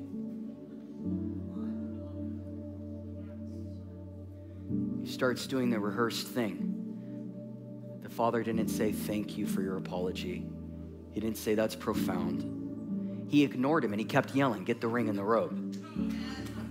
The son is like, I'm not worthy to be a son. But you don't have the right to qualify or disqualify yourself because you didn't hang on a tree. Your blood wasn't shed for you, Jesus's was.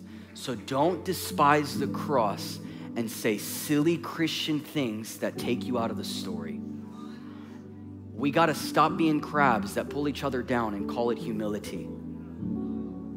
God is looking for a generation that would dare to believe I was born for the other side of the river. And here's my inheritance I am his inheritance. That's what Ephesians 1 says that we would come to the knowledge of the inheritance of the saints in Christ Jesus. What is the hope of his calling? He goes as far as saying, Before the foundation of the world, we were chosen in him. This is unbelievable. And here's the implication He knew exactly what you were going to do. He knew that you would leave him, He knew that you would sin against him, and He just waits. And He just waits, and He waits, and He waits. And you didn't find Him. He then, He found you. He went that far. And He goes, remember the glory we had before the foundation of the world. Everyone in the world comes from God. And until you meet him, until you encounter him, until you touch your beginning, people will think that they're depressed. They'll think they're discouraged. They'll think that, that they're suicidal. They'll, and people fill their lives with drugs. They fill their lives with alcohol. They fill their lives with all the stuff of the world because there's this thing in them that can't be filled unless they go back to the beginning. My heart tonight was not that we just say, wow, that was a powerful meeting. I want you to be driving back to your home or hotel or whatever you're doing, and I want tears to be flowing down your eyes, saying, I am the righteousness of God in Christ Jesus. God, you look at me and you say, wow. I know that I'll get in trouble for this. Preachers will get mad at me for this. You're just talking about yourself, you're talking about people. Well, I haven't said one thing that's not in the Bible. I'm gonna, without being ashamed of the gospel in any way, shape, or form, we have to be able to say that as He is, so are we in this world. If we're actually gonna build a habitation for God, God isn't living in some Motel 6 trashed out, God made you the mansion for his presence. God said, I am going to find a worthy house to live in.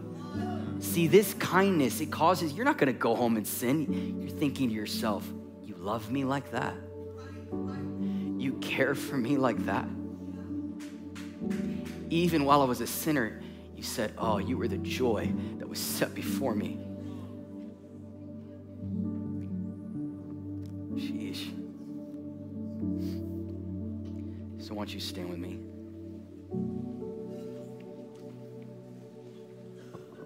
I do believe God wants to mark many of us tonight. But I didn't just want to move of the Spirit. I love the Holy Spirit, but the Holy Spirit came to remind me of Jesus. It's spirit and it's truth. I thought about just doing kind of what we always do and do Psalms 132 and get them hyped about David and hyped about killing their giants. But I think the biggest giant we need to kill is the one between our ears. This unba- this imbalance, this what am I and who am I and what am I going to accomplish and what's my destiny and what's my pur- I'm just doing good to have a full night's sleep. Some of you struggle sleeping at night. And what God is saying is that is not your lot because that's not who you are. So come on, let's welcome the Lord.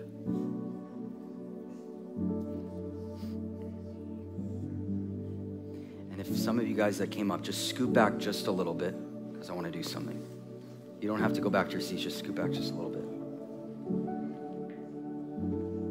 Yes.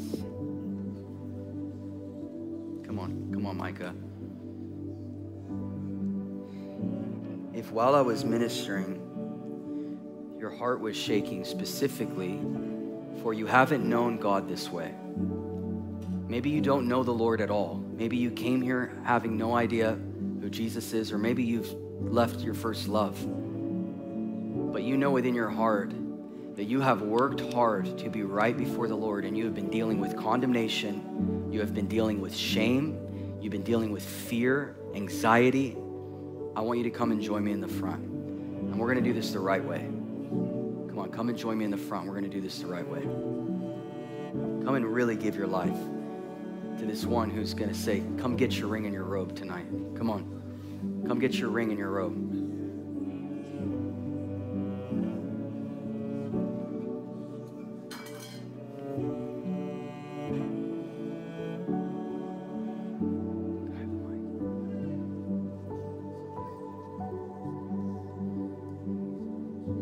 Come on, stretch your hands. Stretch your hands.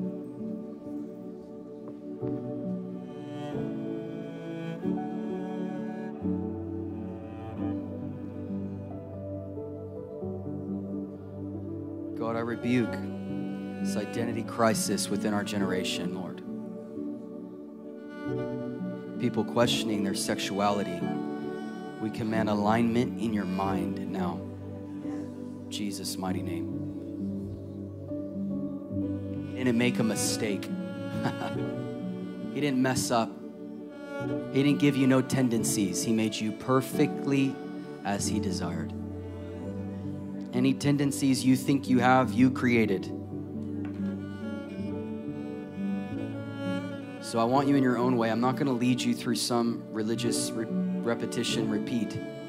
I want you in your own way, out loud, to say, God, I receive you as my Father. And I thank you that I look like you. Don't pray my prayer. I want you to pray yours out loud. The rest of you, stretch your hands and pray for them in the Spirit. Come on. Out loud.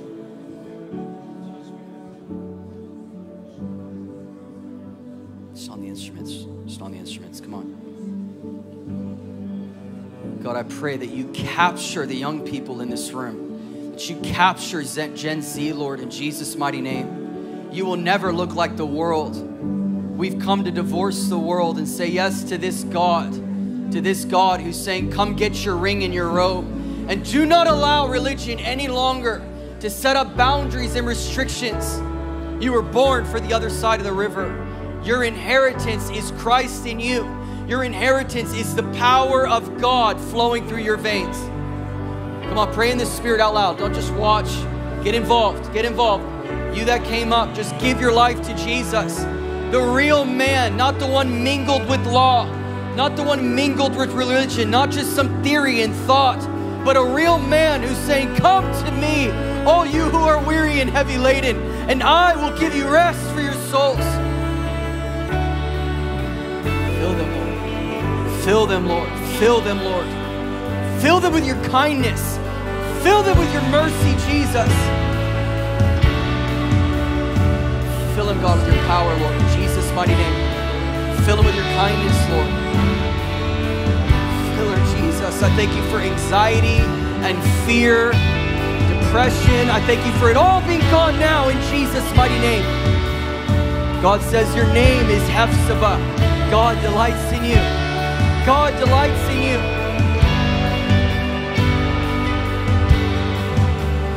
For your majesty, we you. Come and receive from him all that he has, all that he has. You are the habitation of God. You are the habitation of God. You are the habitation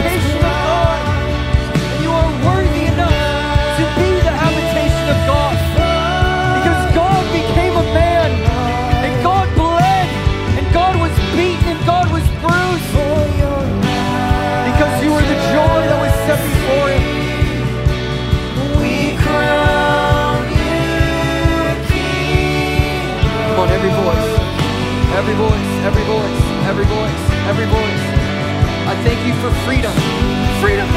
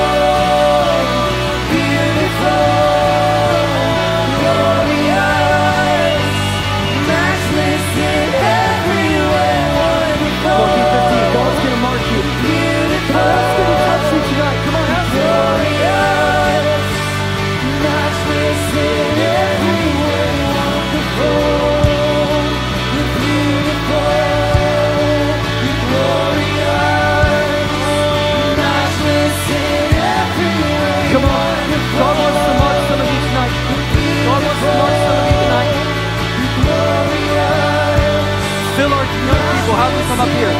Have him come up here. Come here.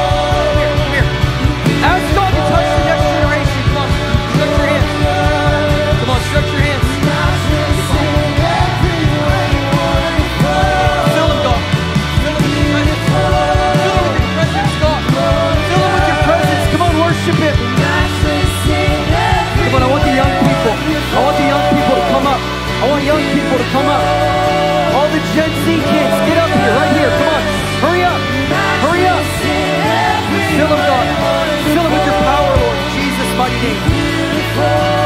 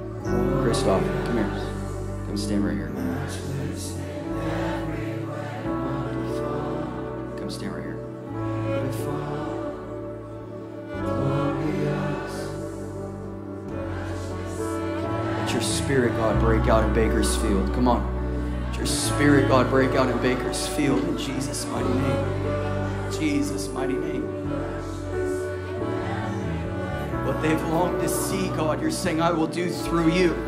Stop waiting. Just do it. It's time to believe. It's time to go. It's time to run. You were born for the other side of the river. It's time to run. It's time to run. God, fill them with your fire, Lord. The courage and the boldness.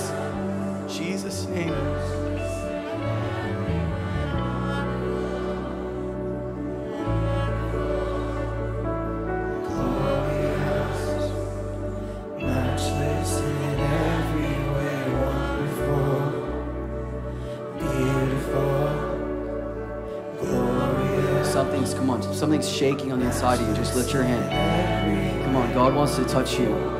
And God wants to change everything. God wants to change everything. He'll do it in a moment. Ask Him, ask Him. You don't need me to lay hands on you. Just ask Him to do it. Ask Him to do it.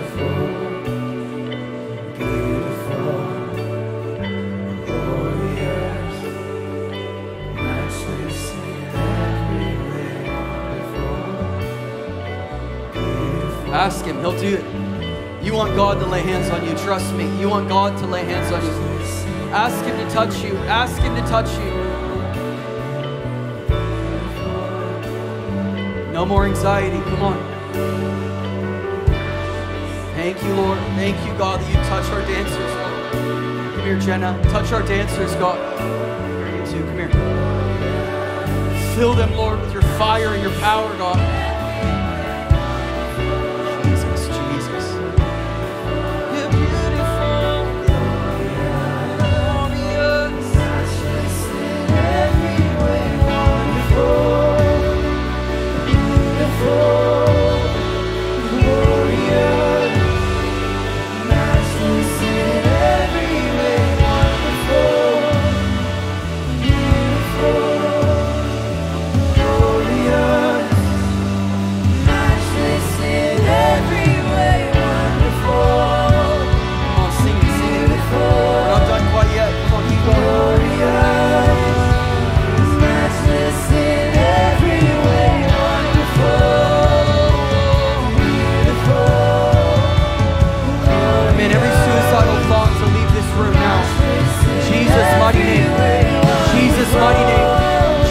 Mighty name.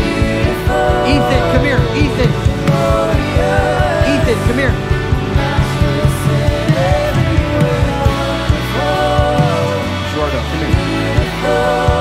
Come up here, come on. Touch our young men, God.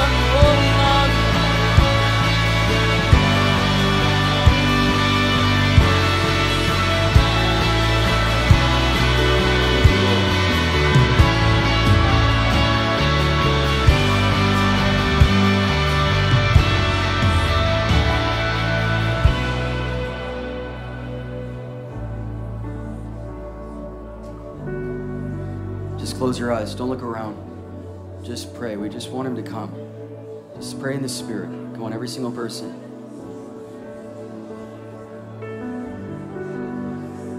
Elena, come here. Elena, come here. Come here. Thank you, Lord. I thank you for the prophetic gift, God, erupting out of our life. Prophetic gift, God, erupting out of our life. Cameron, stretch your hands towards your wife. Stretch your hands towards her. Jesus' mighty name. Thank you, God, for the prophetic gift, God, coming out of her life. Thank you for our students, Jesus. Thank you, Lord. Lord, I pray that you fill them, that you fill them, Lord. That you fill her, God. That the word about the womb was first for you. That you impregnate, God, a generation with such fire, with such courage. People told you you had to be quiet. God, I thank you for fiery women, God, filling this house with the word of God in their mouth. The prophetic word, God, being uttered through their lives and their children.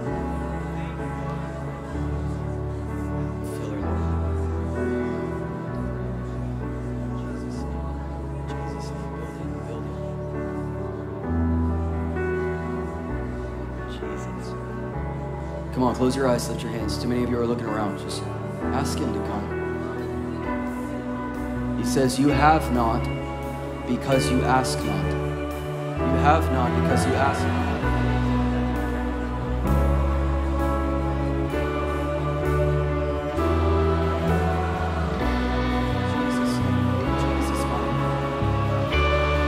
Come on, let Him have you. Just let Him have you. Let Him have you. Let Him have you.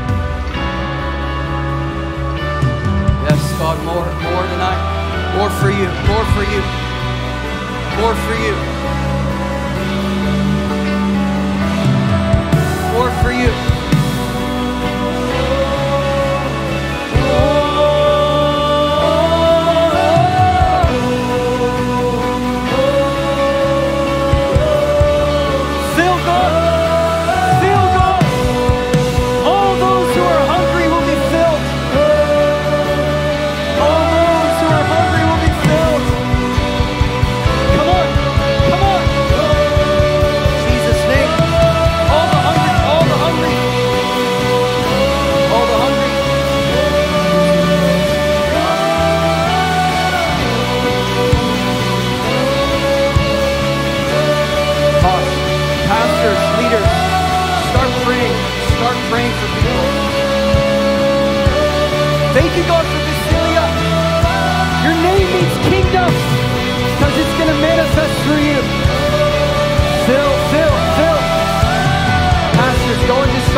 For people. Come on.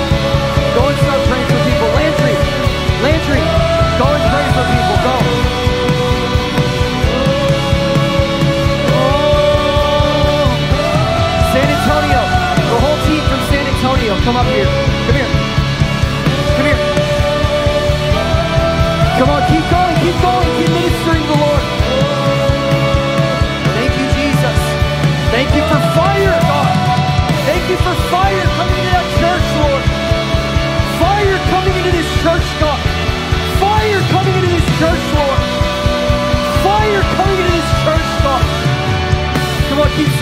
Singing, keep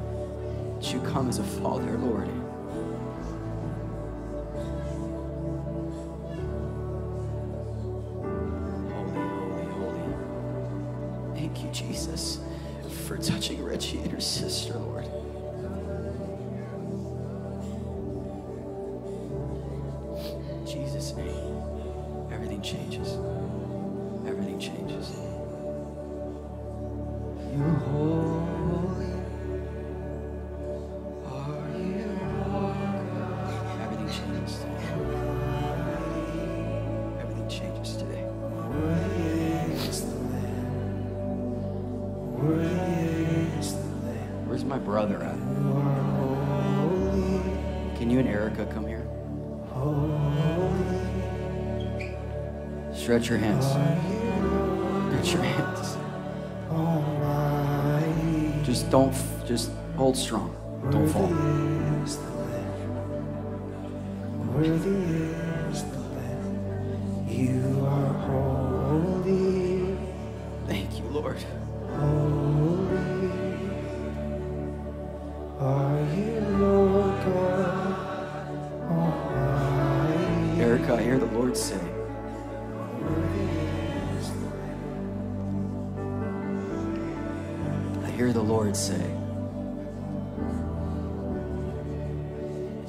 So shocked with what comes out of your mouth.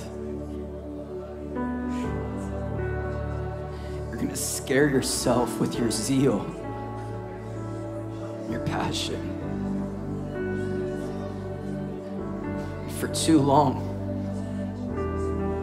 you thought maybe I'm just supposed to be the supporting pastor's wife. But publicly, Lord, is announcing to you today that you will stand beside Costi and you will preach the gospel. And you will sing again.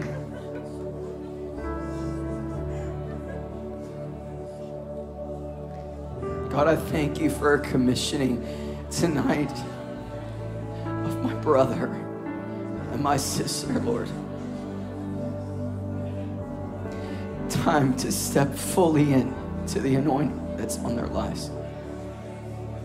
We receive Costi as Pastor Costi. As a seated pastor here at this house. Thank you, God. Everything changes today. Everything changes, God, today. Everything, God, changes today. Spirit of revelation, God, shock him, Lord.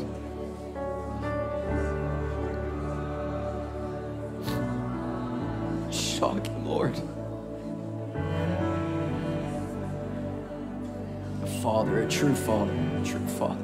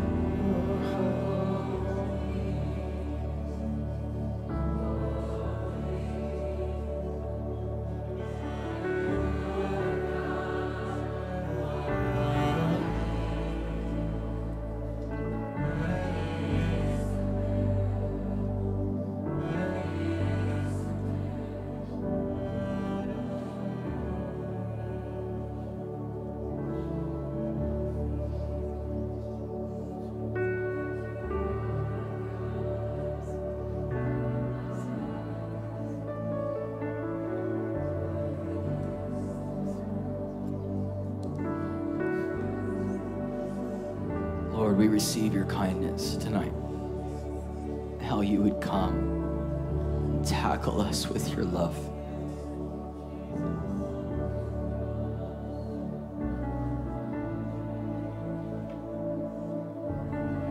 Let the weight of your glory, God,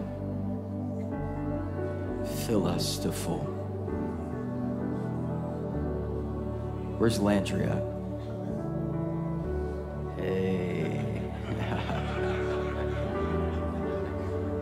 Costi and Pastor Costi and Tanner, put your hands on them. The leader of our youth. Get him, God. Get him, Lord. Shake everything he thought. Ephesians 3 says, that we may comprehend with all the saints what is the width, the length, the height, the depth, to know the love of God that surpasses knowledge. That word knowledge means science. In other words, that we have an encounter with God that science cannot explain. So, Landry, stop explaining it away. It's impossible. Lord, I thank you for the fire of your spirit, God, to go through him and hit every single kid, God, that he comes in contact with, Lord. God, I thank you that the youth, God, that you're raising in this house, Lord, God says, I picked the right man. I picked the right man. I didn't pick you, God picked you. I thank you that he start believing, God, fully, fully. Fill him, God, fill him,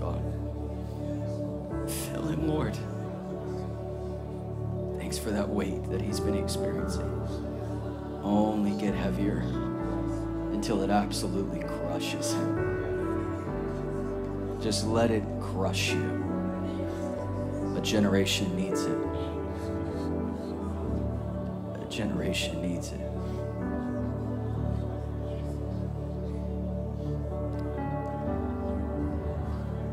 Just last thing, lift your hands for your kids. If you have kids, lift your hands for your kids.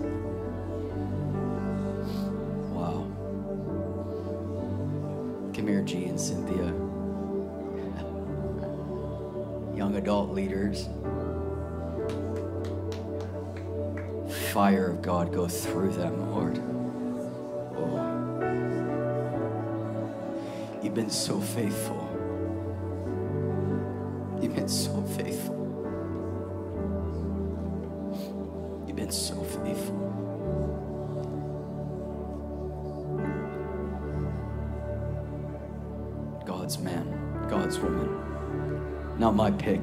Pick.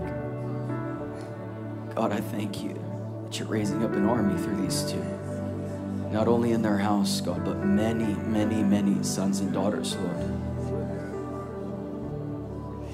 Many, Lord, will come and they will say, We just want to learn and sit at your feet.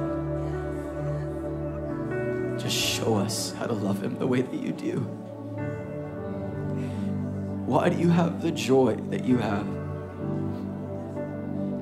It's time for you guys to fully step in. Fully step in to what it means to be a father and what it means to be a mother. Bless them, Lord. Bless them, Lord. Bless them, Lord. A new day, a new mantle for a new day, a new man's mantle for a new day. So come on, lift your hands for your kids.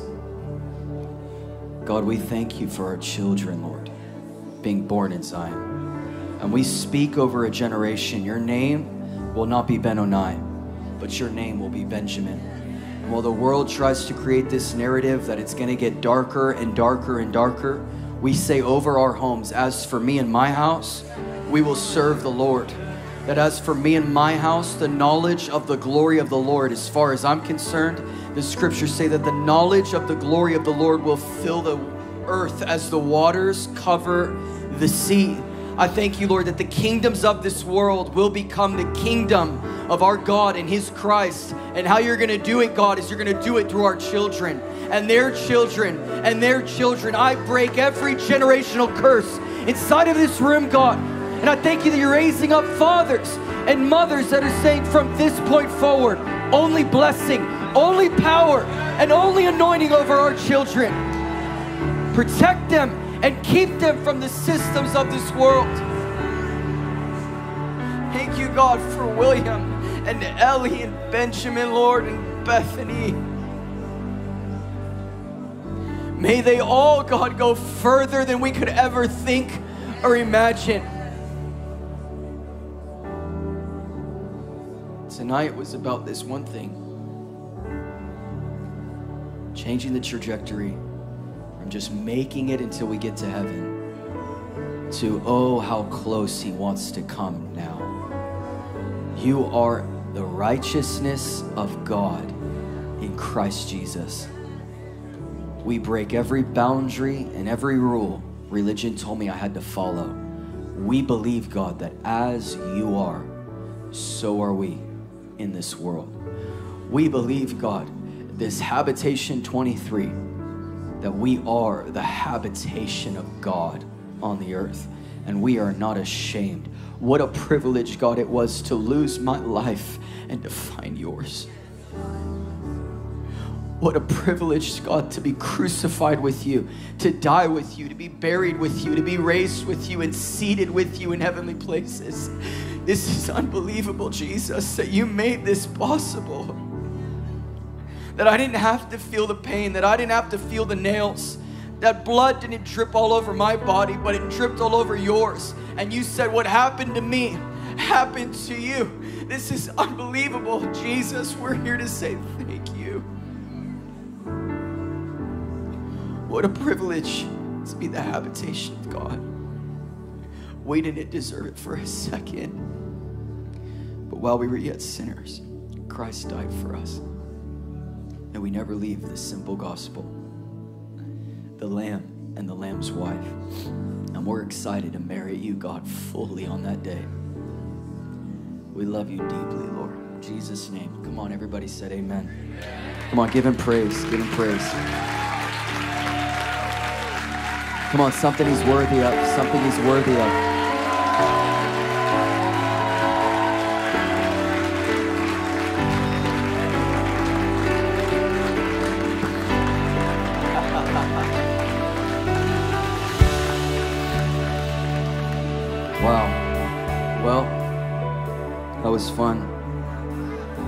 So good. We're coming back tomorrow morning.